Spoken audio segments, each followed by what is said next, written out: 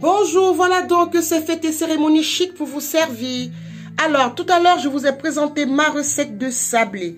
Et là, je vous présente une astuce pour mieux garder vos sablés pour les retrouver après quelques jours encore croustillants et moelleux.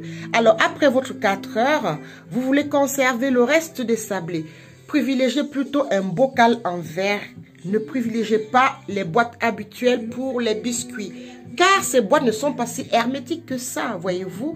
Donc, euh, quand vous conservez les biscuits dans ces boîtes, il faudrait que ce soit des biscuits euh, industriels. Alors, si vous faites des gâteaux faits maison, privilégiez justement des bocaux en verre comme celui qui est juste devant vous. Une bonbonnière ou alors un bocal à pâtisserie comme celui que vous avez fera l'affaire. Alors n'hésitez pas chaque fois, checker mes vidéos, partager et surtout envoyez-moi des cœurs parce que moi les cœurs j'en raffole et je vous souhaite un bon appétit.